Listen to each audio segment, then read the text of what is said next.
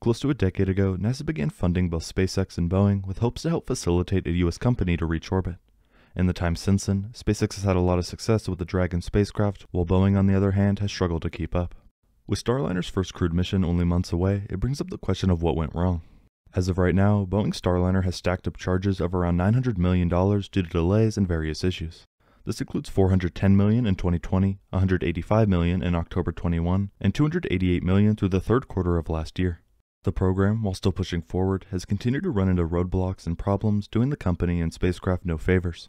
Unfortunately for Boeing and Starliner, these issues are not only affecting current missions, but also a lot of future opportunities. For comparison, Boeing's commercial crew contract that NASA awarded in 2014 includes six post-certification missions.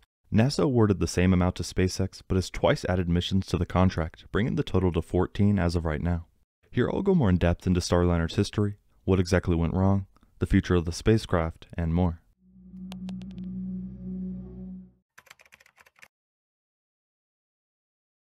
Besides initial delays, the first orbital test flight of Starliner did not go well. The uncrewed orbital flight test launched on December 20, 2019, but after deployment, an 11 hour offset in the mission clock of Starliner caused the spacecraft to compute that it was in an orbital insertion burn when it was not. This caused the attitude control thrusters to consume more fuel than planned, precluding a docking with the International Space Station. The spacecraft landed at White Sands Missile Range, New Mexico, two days after launch. Two software errors detected during the test, one of which prevented a planned docking with the International Space Station, could each have led to the destruction of the spacecraft had they not been caught and corrected in time, NASA said on February 7, 2020. A joint NASA Boeing investigation team found that the two critical software defects were not detected ahead of the flight despite multiple safeguards, according to an agency statement. Ground intervention prevented the loss of the vehicle in both cases. Before reentry, engineers discovered the second critical software error that affected the thruster firings needed to safely jettison the Starliner service module. The service module software error incorrectly translated the jettison thruster firing sequence. After these initial complications with OFT-1, the company began working toward OFT-2 with higher hopes. While the second uncrewed mission would eventually be successful, it took a lot longer than Boeing and NASA were hoping for. In 2021, Boeing's CST-100 Starliner was within hours of launch on its second uncrewed test flight in early August, when stuck valves in the spacecraft's propulsion system forced a launch scrub that turned into a delay that extended into the next year. Specifically, during the August 2021 launch window, some issues were detected with 13 propulsion system valves in the spacecraft prior to launch. At this point, the spacecraft had already been mated to its rocket, United Launch Alliance's Atlas V, and taken to the launch pad. Attempts to fix the problem at the facility also failed, and Boeing decided to return the spacecraft to the factory, thus canceling the launch at that launch window. To add to these issues, there was a commercial dispute between Boeing and Aerojet Rocketdyne over responsibility for fixing the problem. The valves had been corroded by the intrusion of moisture, which interacted with the propellant, but the source of the moisture was not apparent. By late September 2021, Boeing had not determined the root cause of the problem and the flight was delayed indefinitely. In December of that same year, Boeing decided to replace the entire service module and anticipated OFT-2 would occur in May 2022. This marked a major delay and another $185 million charge was added to the company's total. On the flight, two orbital maneuvering and attitude control system thrusters failed during the orbital insertion burn, but thankfully the spacecraft was able to compensate using the remaining thrusters with the addition of the reaction control system thrusters. A couple of RCS thrusters used to maneuver Starliner also failed during docking due to low chamber pressure. Just to add on, some thermal systems used to cool the spacecraft showed extra cold temperatures, requiring engineers to manage it during the docking. While technically successful, it revealed that there was still a lot of work necessary, especially before humans got aboard. Now that we know more about Starliner's first orbital test flights and what went wrong, we can take a closer look at the spacecraft itself and some of the additional delays. The last planned test flight is the crewed flight test. Although it had an original goal of 2017, various delays have pushed the flight back no earlier than April 2023. The crewed flight test will send a crew of two to the ISS for a short stay.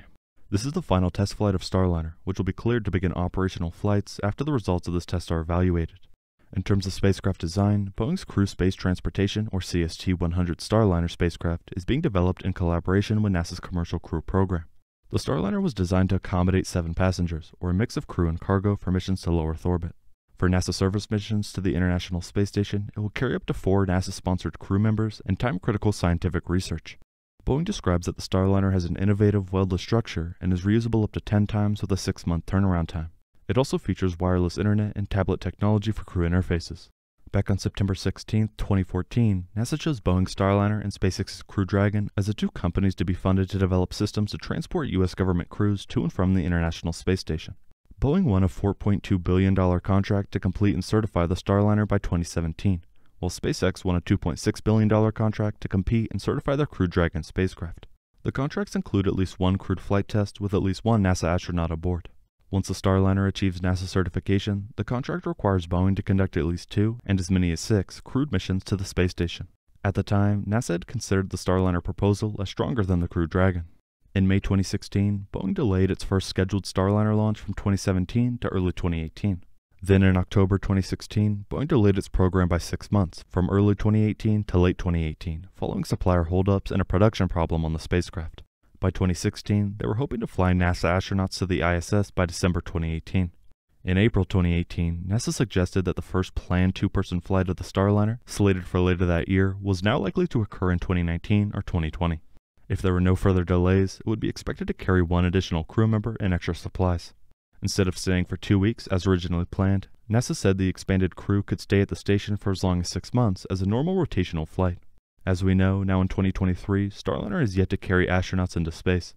As partially mentioned prior, not only have these issues caused a lot of charges to be stacked up, but it also has cost Boeing a lot of opportunities.